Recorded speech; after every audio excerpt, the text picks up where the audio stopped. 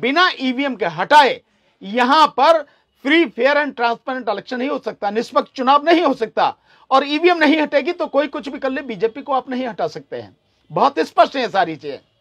पर हम अपनी तारीफ़ तरफ़ से पूरी कोशिश करेंगे, ईवीएम से चुनाव नहीं हो पाए। इसके लिए अब हमें गाँव गाँव शहर शहर घर घर जाना पड़ेगा। हम जाएँगे, लोगों को जगाएँगे। देखिए, जो उत्तर प्रदेश के परिणाम हैं, वो जो जमीनी सच्चाई थी उससे दूर हैं। जमीनी सच्चाई कुछ और थी। लोगों में इतना ज़बरदस्त सरकार के प्रति गुस्सा था और वो गुस्सा ज़मीन पर दिख रहा था। और वो समाजवादी पार्टी और गठबंधन के पक्ष में था। इसमें कोई शक नहीं है, क्योंकि इतना रैलियों में जो जनसैलाब उमड़ा, वो किराए का जनसैलाब नहीं था। वो लोग अपनी इच्छा से आए थे, बदलाव के लिए आए थे। उसमें बहुत बड़ी संख्या में बेरोजगार नौजवान थे। युवा जो कितनी बड़ी संख्या में उसमें शामिल हो रहे थे तो वो सारी चीज़ें हैं, सबने देखा है। हमने खुद, क्योंकि पूरे उत्तर प्रदेश में, मैं तो रहा चुनाव में, यहाँ से लेके वहाँ तक पूरे बनारस तक और वहाँ तक हम लोग गए, मऊ तक सारा जो सब कुछ था, चुनाव के परिणाम बिल्कुल उससे विपरीत हैं।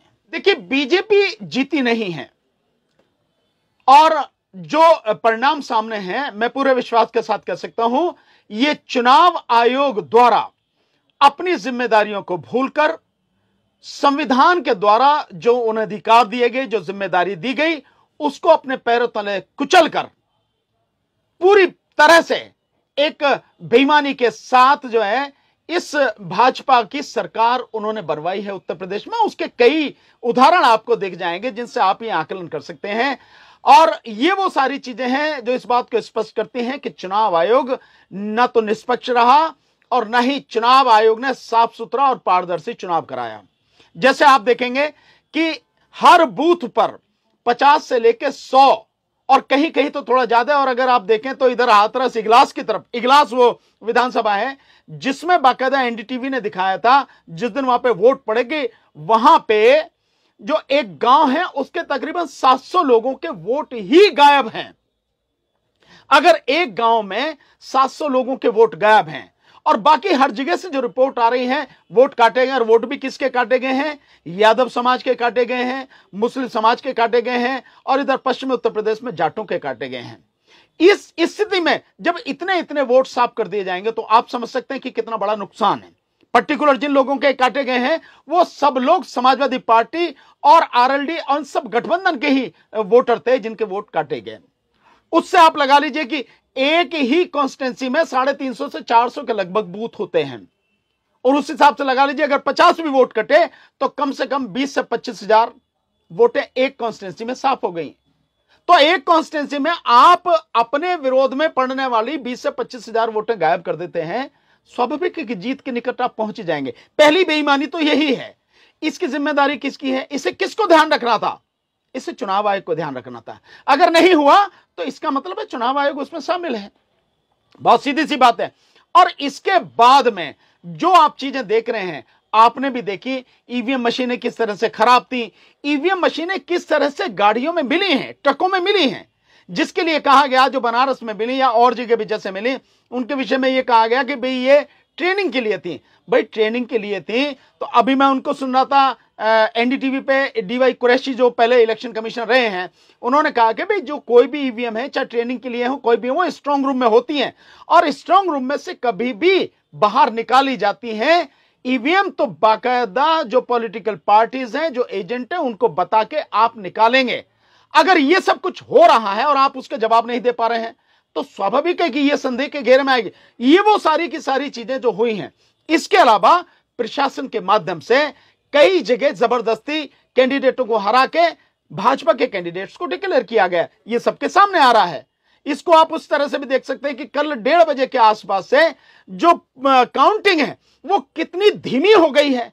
तो उसको देख के वो लगता है कि माननीय अखिलेश यादव जी ने जो दो तीन दिन पहले एक प्रेस कॉन्फ्रेंस करी थी और उसमें यह कहा था कि चीफ सेक्रेटरी ने सभी कलेक्टर्स को, जिला कलेक्टर्स को यह कहा है कि भाई, जहाँ भी बीजेपी हारने की स्थिति में हो, वहाँ पर काउंटिंग को धीमा करके और उसको लंबा कीजिए, आगे तक लेके जाइए और उसके बाद में जैसे होगा करेंगे।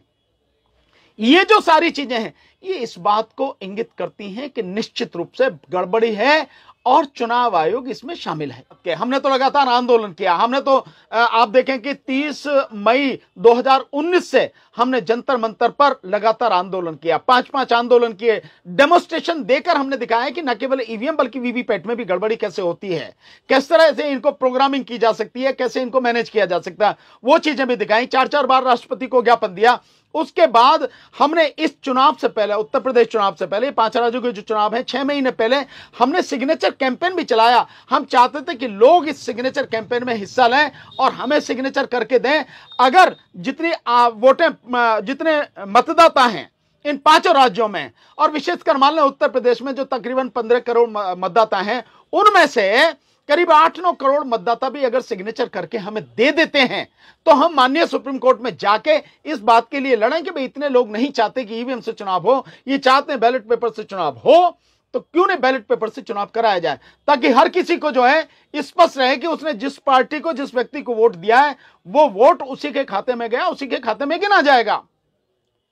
हमने लगातार किया और आगे भी हम इस आंदोलन को करेंगे, क्योंकि बिना ईवीएम के हटाए यहाँ पर free fair and transparent election नहीं हो सकता, निष्पक्ष चुनाव नहीं हो सकता। और ईवीएम नहीं हटेगी तो कोई कुछ भी कर ले बीजेपी को आप नहीं हटा सकते हैं। बहुत स्पष्ट है सारी चीज़ें।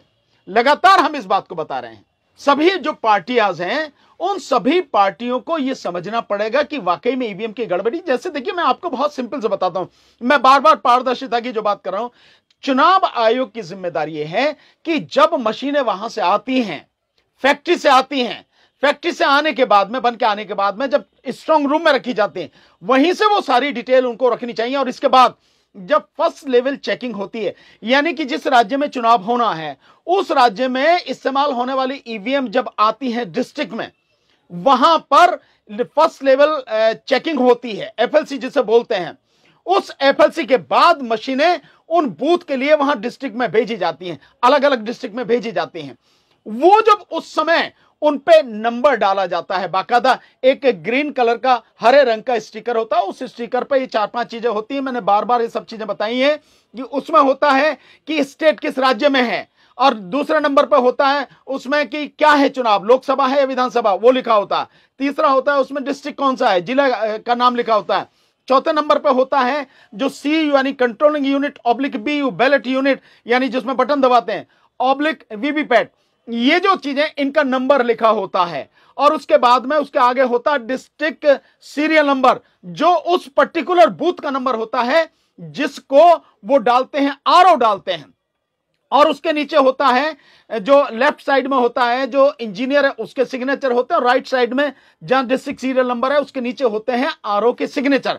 और फिर नीचे लिखा होता है कि एफएलसी कब की गई, वो सारी चीज़ें, ये इंफॉर्मेशन बाकायदा एक सर्टिफिकेट के माध्यम से इलेक्शन कमीशन को, जो प्रिजाइडिंग ऑफिसर है, उसके माध्यम से हर पार्टी के एजेंट को देनी चाहिए कि यहाँ पे इस्तेमाल होने वाली मशीन ये है। इसका नंबर ये है, ये आर है, आर के सिग्नेचर है, इसका ये डिस्ट्रिक्ट सीरियल नंबर है, वो सारी चीज़ देनी चाहिए। लेकिन दी जाती है नहीं। केवल सर्टिफिकेट ये दिया जाता है, यहाँ पर इतनी वोटें थी, इनमें से इतनी वोटें पड़ी हैं, ये सर्टिफिकेट दिया जाता है। वो नंबर जो होता है उस नंबर को देना बहुत ज़रूरी है। लेकिन नहीं, और फिर उसके बाद में वो नंबर जब होते जो पीछे ये जानकारी है, और इसके अलावा एक जो वो होती है हल्के गुलाबी रंग की जो है, वो सील होती है। और वो सील बिल्कुल, वो भी यूनिक होती है। उस सील को देखा जाना चाहिए कि वो सील कहीं से कटी फटी टूटी तो नहीं है। अगर है तो इसका मतलब कहीं ना कोई छेड़छाड़ है, कोई ना कोई गड़बड़ी है। वो चीज़ें देखी जानी चाहिए। और जिस समय काउंटिंग हो तो जो कंट्रोलिंग यूनिट है, जिसमें वोट इकट्ठी होती है, वो लाके वो उसके पीछे जो हरे रंग का वो लगा होता है स्टिकर जिसमें ये इंफॉर्मेशन मैंने बताई, ये होती है, वो बाकायदा चेक करानी चाहिए काउंटिंग एजेंट्स को, कि देखिए आपके बूथ पे ये जो था, जो सर्टिफिकेट दिया गया था, उस सर्टिफिकेट के माध्यम से ये इंफॉर्मेशन थी, और ये जो मशीन हम लेके आए हैं, ये वो मशीन है, आप चेक कर लीजिए इस पर। कहीं ऐसा नहीं होता। हम भी काउंटिंग में रहे हैं, कहीं ऐसा नहीं होता, कहीं नहीं दिखाया जाता। बस केवल ऊपर की एक सील दिखाई जाती है बॉक्स में से वो निकालने के लिए कंट्रोलिंग मशीन को वो दिखाई जाती है, वो ठीक है हाँ जी, ठीक है। बस उसे निकाल के फिर काउंटिंग अपना शुरू कर दी जाती है। ये जो चीज़ है, ये पारदर्शिता बहुत ज़रूरी है, जिसे करने की ज़िम्मेदारी चुनाव आयोग की है, लेकिन कहीं नहीं है, और उसी में ये सारी मैनिपुलेशन होती है, मशीनें बदली जाती हैं, ना तो वो जो उस समय जो पोलिंग एजेंट होते हैं, ना वो उनको ही जानकारी है, ना वो इन सारी चीज़ों को नोट करते हैं, ना ही काउंटिंग एजेंट को जानकारी है। बस ये आए कि यहाँ दिखा लिया हाँ साहब, ये बक्से में से निकाली, ठीक है, गिनती शुरू हो जाती है। बदली गई है, क्या हुआ है, कैसे हुआ है, कुछ जानकारी नहीं है। यह ज़िम्मेदारी चुनाव आयोग के चुनाव आयोग ने नहीं निभाई। अब जो बाकी सारी विपक्षी पार्टियाँ हैं, चाहे समाजवादी पार्टी हो, समाजवादी पार्टी गठबंधन में जो शामिल हैं, और भी जो पार्टियाँ हैं उन सबको यह देखना पड़ेगा कि अगर आप जिस स्तर पर ये सारी चीज़ें हो रही हैं, इनको आप रोक नहीं पाएँगे, इनको काउंटर नहीं कर पाएँगे, इनको चेक नहीं कर पाएँगे तो आने वाले समय में परिणाम यही होगा जो यूपी में हुआ है, और वो परिणाम निश्चित रूप से देश के लिए सुखद नहीं होगा, देश के लिए हितकारी नहीं होगा। तो सबको मिलके बैठ के, मिलके साथ चलना होगा, रणनीति बनानी होगी, इन सारी सवालों को देखकर उस हिसाब से काम करना होगा। अगर कर पाएँगे तो आगे इस सारी चीज़ को रोक पाएँगे, नहीं कर पाएँगे तो फिर तो जो होना है आप जानते हैं, ये स्थिति है। पर हम अपनी तारीफ़ तरफ़ से पूरी कोशिश करेंगे, ईवीएम से चुनाव नहीं हो पाए। इसके लिए अब हमें गाँव गाँव शहर शहर घर घर जाना पड़ेगा। हम जाएँगे, लोगों को जगाएँगे, सिग्नेचर कैंपेन भी चलाएँगे, और भी जो रास्ता हो सकता है वो करेंगे। लोगों को आंदोलन के लिए तैयार करेंगे, साथ देंगे तो बच जाएगा। ईवीएम हट जाएगी, साथ नहीं देंगे तो उसका कोई इलाज नहीं है। मैं उसके विषय में तो फिर कुछ कह ही नहीं सकता। हाँ, इतना ज़रूर कह सकता हूँ, अगर बीजेपी को आपको हटाना है तो आपको ईवीएम को उससे पहले हटाना पड़ेगा। ईवीएम हटेगी, बैलेट पेपर से चुनाव होगा, और चुनाव भी एक ही दिन में चुनाव हो, और तीन घंटे बाद ही उसकी काउंटिंग शुरू होनी चाहिए। वो महीनों तक चुनाव नहीं चलना चाहिए। जो पाँच पाँच सात सात सात सात आठ आठ फ़ेज़ में जो चुनाव हो रहे हैं, ये चुनाव नहीं होना चाहिए। चुनाव एक ही फ़ेज़ में होना चाहिए और तीन घंटे बाद उसकी काउंटिंग शुरू हो जानी चाहिए। यह सब कुछ करना पड़ेगा, ऐसा होगा, तभी आप बचा पाएँगे देश को, नहीं तो नहीं कुछ बचेगा। हम कोशिश करेंगे, लोग साथ देंगे तो बहुत अच्छा है, साथ नहीं देंगे तो अकेला व्यक्ति